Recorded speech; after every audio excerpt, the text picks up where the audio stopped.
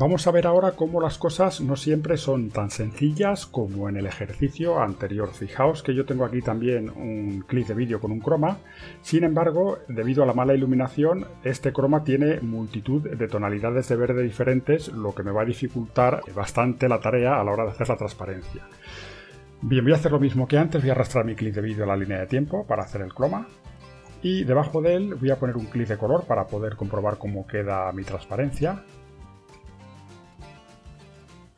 Lo voy a arrastrar también a la línea de tiempo debajo del vídeo. Aquí lo tengo. Voy a seleccionar mi clip de vídeo y ahora la herramienta que voy a emplear es el recorte por croma avanzado. Hago doble clic en ella y aquí la tengo. Igual que antes voy a coger el cuentagotas para elegir el color con el que quiero hacer croma.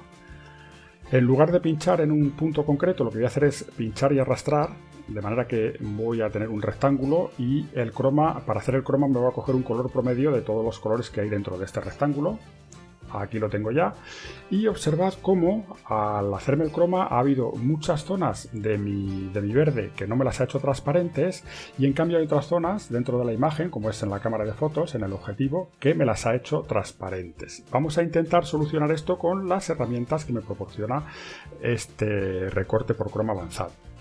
Una de las que tengo es el modelo de color, Vamos a probar, eh, tiene tres modelos distintos, vamos a probar los otros dos que vienen. Fijaos como con este la cosa mejora bastante, el tercero me la deja más o menos igual que el anterior. Vamos a coger cualquiera de los dos, el RVA es el que peores resultados me da, cogemos cualquiera de estos dos.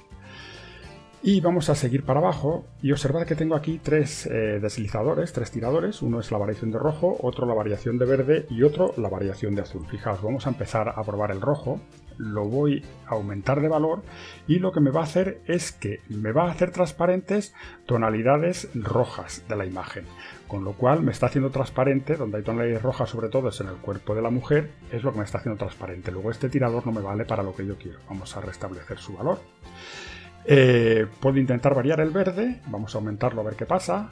En principio no observo ningún resultado, con lo cual voy a dejarlo igual que estaba también. Y vamos a probar ahora el azul voy a aumentarlo. Recordar que me va a hacer transparentes zonas azules de la imagen pues al aumentar su valor observad cómo esto sí me funciona.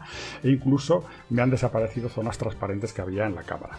Bien en principio eh, os invito a que exploréis las otras herramientas que trae como la forma la eh, perdón, el modo de bordes y el suavizar eh, yo no he conseguido dejarlo mejor de lo que está. En principio el croma está bien hecho, salvo por, fijaos este detalle aquí en este pelo que hay suelto, que me lo corta en, eh, a mitad. Esto no queda muy bien. Pero también hay que decir que con este croma que tiene este clip de vídeo es difícil obtener resultados mejores.